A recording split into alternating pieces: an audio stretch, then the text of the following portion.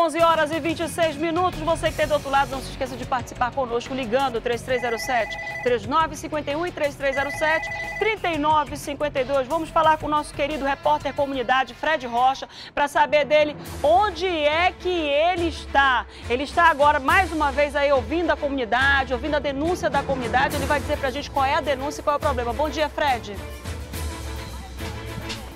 Muito bom dia, Márcia Lasmar. Bom dia a você que está ligado em mais uma edição do programa Agora. Nós viemos na zona norte da capital mais uma vez atender a uma demanda da comunidade, problemas de infraestrutura. Nós estamos mais precisamente na divisa entre dois bairros aqui da Zona Norte. Um Fazendia e o outro Alfredo Nascimento. Pedi aqui para o cinegrafista Anderson Tavares me acompanhar. Ah, os moradores aqui da área estão reclamando o seguinte: há um ano a prefeitura veio aqui e fez, né, é, aterrou essa área aqui, colocou essas manilhas, só que depois acabou não voltando mais para concluir este trabalho. O resultado é que com as chuvas isso aqui foi cedendo e agora eles estão com acesso àquela rua que fica lá do outro lado, a rua 8B, que lá já fica o Alfredo Nascimento, o acesso está restrito.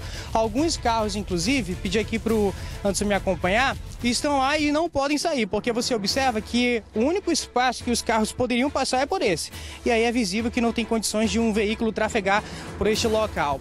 E aí o detalhe é que é o seguinte, a rua 8B está assim, ó, dessa forma. O mato já tomou conta de quase tudo ali, portanto também não tem como os carros saírem pela rua 8B, subindo aqui o Alfredo Nascimento, nem o Fazendia que fica do outro lado, por onde teria acesso por meio dessa ponte. Os moradores pediram aqui uma reportagem, a nossa presença, para que eles possam reivindicar essa situação. Daqui a pouco nós vamos conversar com eles ao vivo aqui no programa agora. Como eu disse, demanda hoje aqui da zona norte da capital e hoje em dois bairros, né?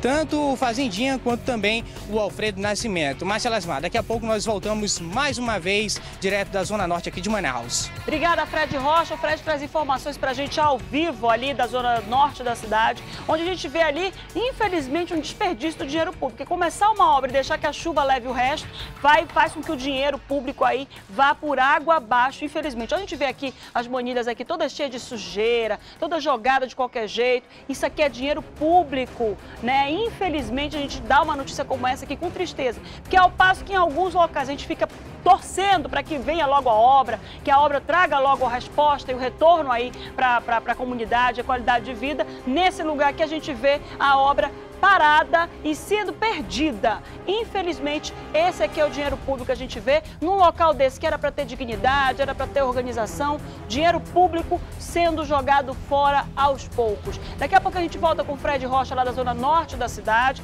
e a gente vai sair da zona norte vai lá para a zona central da cidade. Minha gente, olha só essa notícia que eu vou trazer para você. A gente vai lá para a zona central da cidade, lá no Teatro Amazonas, ponto histórico e cultural da nossa Manaus. Um casal arrombou arrombou as portas do teatro e acabou tentando entrar nesse local histórico aí, que teve aí é, algumas portas ali prejudicadas, né? É, teve um prejuízo danado e infelizmente um, a, a, mulher, né, acabou sendo baleada no glúteo, no bumbum. E quem vai trazer as informações pra gente desse caso é o nosso repórter Danilo Alves na tela. Danilo. Pois é, o caso aconteceu por volta de uma e meia da manhã de hoje.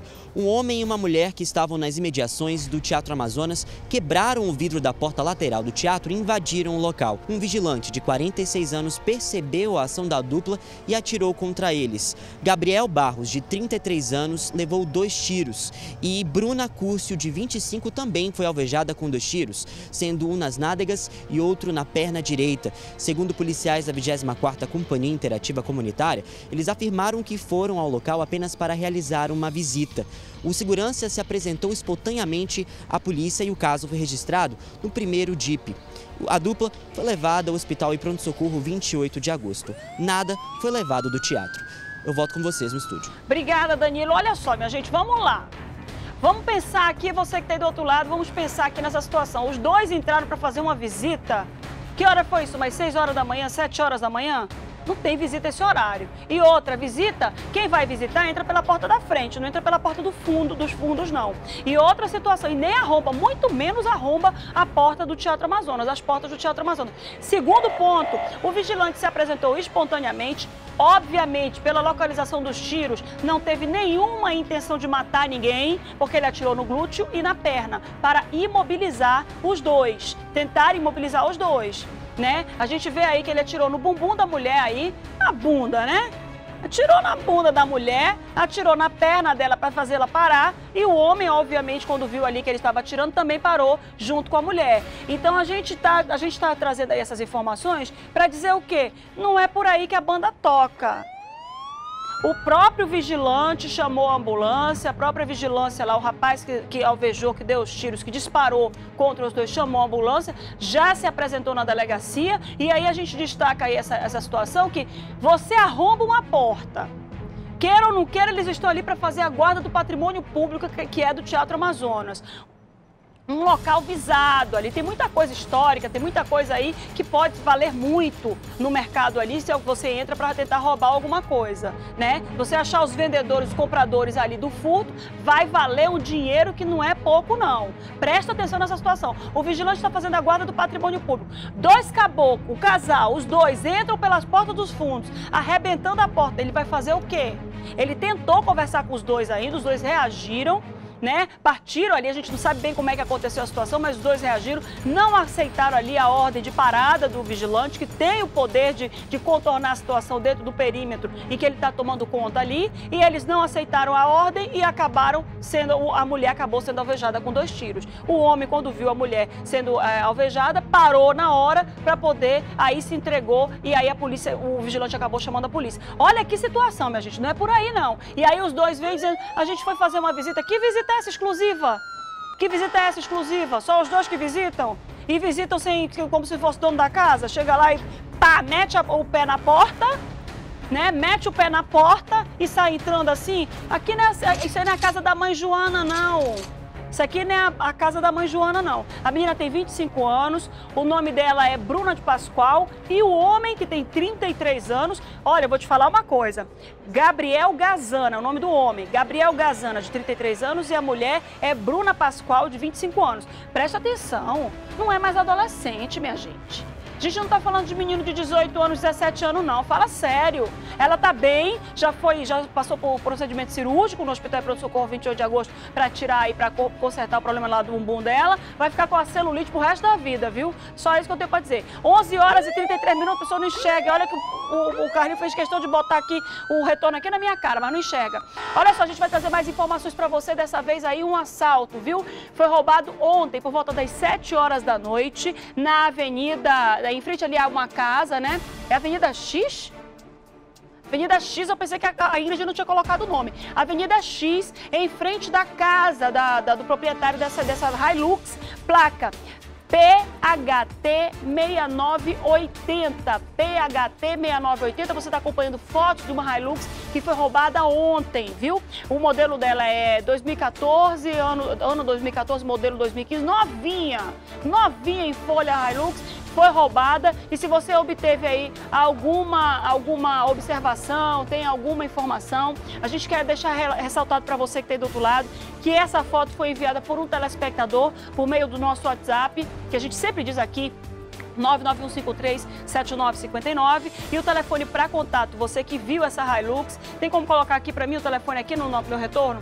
99172-3414 e o 99148-6898. Uma telespectadora mandou essa foto denunciando esse furto, tá? O caso aconteceu lá na Alvorada 3, na Rua X diz a Rua X, né?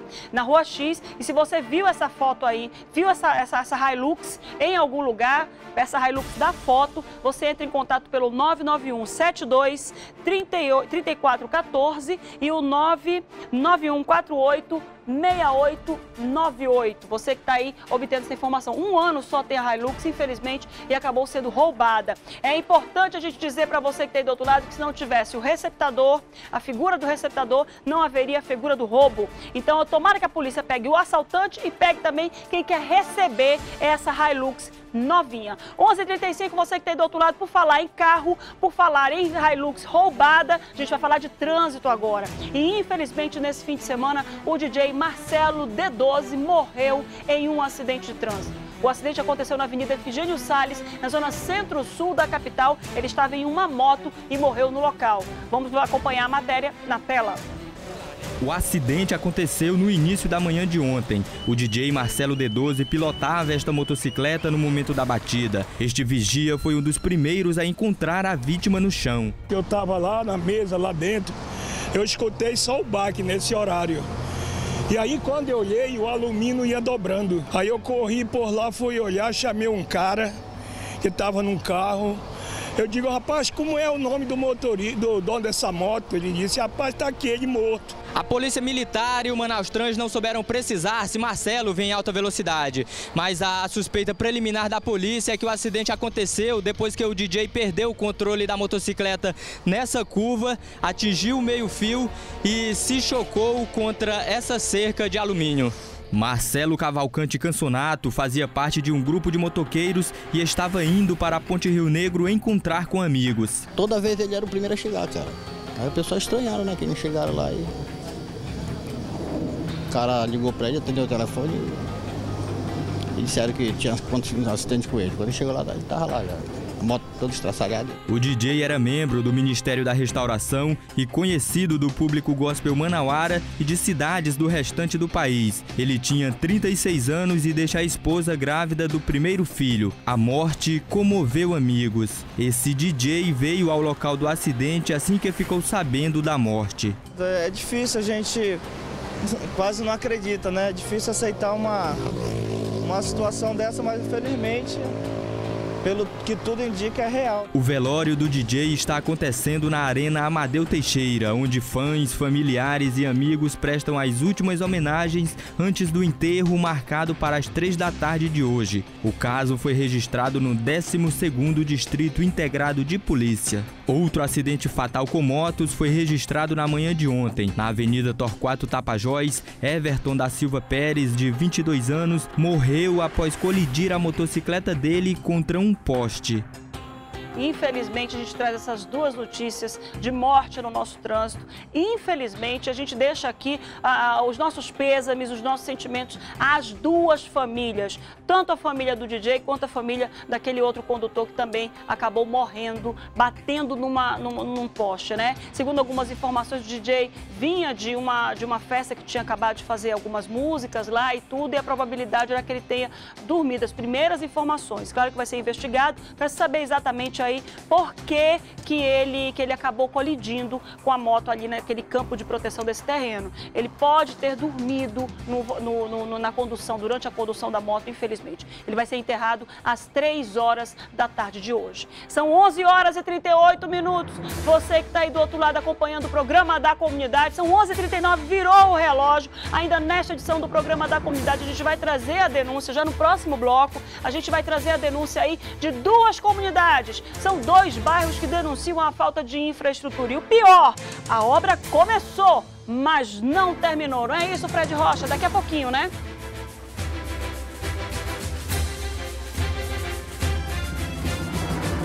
É isso mesmo, Márcia Lesmar. E eu estou bem daqui na divisa, né, dos dois bairros. Aqui nesse igarapé, eu estou em cima de uma manilha que divide, na verdade, aqui esse igarapé, os dois bairros e olha só quanta sujeira, na verdade, ainda falta também consciência da população. É mais uma é, reivindicação aqui das pessoas, né, que moram aqui. Umas são contra justamente essa questão de jogar lixo nesses locais. Mas daqui a pouco nós vamos voltar mais uma vez para conversarmos com as pessoas sobre várias situações aqui nos dois bairros, tanto o Fazendinha quanto também no Alfredo Nascimento. Mas antes, você que está acompanhando o programa agora, fica com uma dica da Márcia Lasmar e aí nós vamos para o intervalo e depois voltamos mais uma vez da Zona Norte de Manaus. Eu sempre estou aqui falando de varicel, mas hoje eu não vou falar. Hoje quem vai falar é a Anaí. Fala aí, Anaí.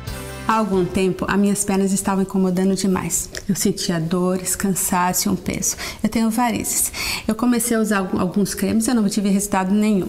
Me indicaram varicel. Tomei os comprimidos, passei o creme e em pouco tempo vi ótimos resultados. E ainda por cima a varicel me deixou com o intestino ótimo. Eu estou muito satisfeita viu? Para combater as dores nas pernas, aquela sensação de peso, cansaço provocados pelas varizes, é só associar varicel comprimidos ao varicel creme e pronto. O varicel comprimidos também alivia os desconfortos provocados pelas hemorroidas, pois ajuda a combater os sintomas da prisão de ventre, que é um dos principais causadores de hemorroidas. A linha varicel e agora com quatro novos produtos para você que está aí do outro lado, olha só, creme para celulite, creme para diabético, quem tem diabetes aqui para melhorar a circulação e creme para pele extra seca. E olha só que novidade, que coisa legal. O Varicel para estrias. Muito show daquela disfarçada nas estrias, fica show de bola. A linha Varicel está à venda em todas as farmácias do Brasil, mas a preços promocionais das drogarias Angélica e Farmabem. Agora, se lhe oferecerem outro produto, não aceitem. Troque de farmácia, mas não troque de produto.